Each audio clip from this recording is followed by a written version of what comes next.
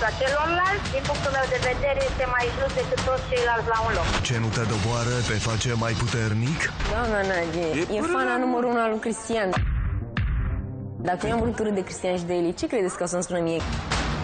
Care este adevărul despre Elena? Independență, parșivenie, mândrie, răutate, maestră în arta seducției. E vorba că toți spun și în casă lucrul ăsta. Și când vezi că toată lumea nu pot, frate, că sunt eu sunt doar rea de gură, dar nu sunt așa. Nimeni nu ți-e Vreau prieten, să afirmații, mă știi. duceam la te pui cu blondele.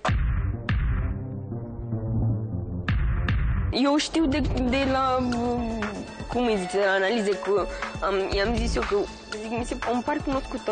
A, da, am fost la te pui cu blondele și de-aia am zis de afirmații. Deci e, e Da. adevărat?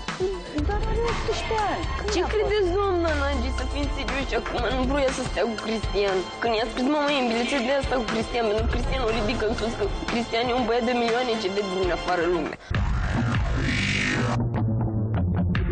Eu nici nu știu dacă să mai vorbesc cu dumneavoastră, să interpretează iar. Și așa nu te ia somnul. Ce sunt? Că eu m-am apropiat de dumneavoastră, că urmăriți ceva. Mi-a zis Elena de dimineață. Dar aici e răutate multă, asta este. Cât ai E din încercat și partea cât s-ar tuturor, spune, nu doamna mai Mirela, am. că nu sunt două grupuri, sunt două grupuri aici. Sunt.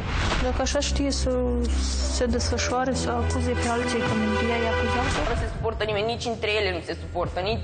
Ele între ele? Da. Voi arăți aruncat cu pietre în așa, dar așa e eticheta mea. Deja sunt etichetată ca o persoană rea, pe bune.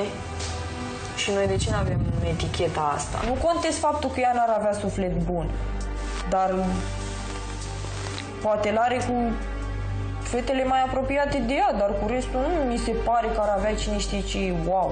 Că dacă ar fi avut, s-ar fi văzut. Dacă e, începem cu jigniri și cu vrăjeală de asta ieftină, începem și cu de ăștia, că știm și de ăștia, nu suntem crescute în pom.